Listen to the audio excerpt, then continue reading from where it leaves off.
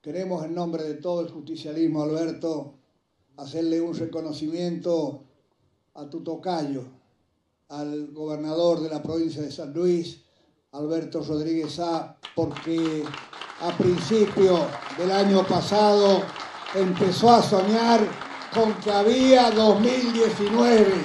Hay 2019 y hay pueblo argentino en el gobierno. Alberto.